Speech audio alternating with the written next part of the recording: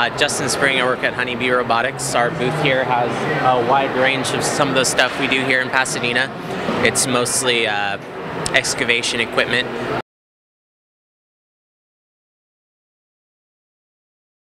Um, we're here today to show off some of our equipment to young, impressionable minds. Uh, we feel that STEM is very important for our future. Uh, science and technology have to keep moving forward, and so we need to get kids excited about it. And what better way with some awesome interplanetary drills?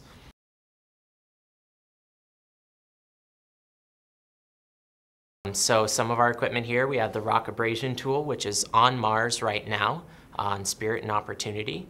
Uh, we have one of our long wireline drills, that's for drilling deep, uh, 10 meters. Uh, we also have some of our small, or one of our small coring drills, uh, the Rancor drill, which has uh, been designed for a Mars sample return mission. Uh, we've had quite a few people come by. they're very interested in our globes. Uh, we have a moon globe and a Mars globe sitting on our table. Uh, people like to see where the uh, landers were and where the rovers are now. Uh, little kids asking if it's Uranus, you know. But yeah, it's fun to see them excited about uh, traveling through space and future off of our planet.